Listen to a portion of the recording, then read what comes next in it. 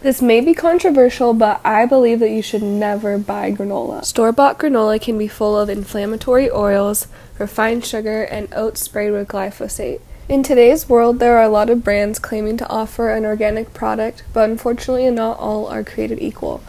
I've been using One Degree Organic sprouted oats for over a year now, and they recently sent me more of the stuff that I love. They source all their ingredients from farms that are 100% pesticide free.